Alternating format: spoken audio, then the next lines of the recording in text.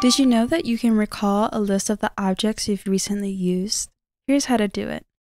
In any patcher, press R on your keyboard, and a list of your 20 most recently used objects will appear. You'll notice that if any object had additional arguments, those will also be recalled, which makes repetitive patching tasks a breeze. Happy recalling!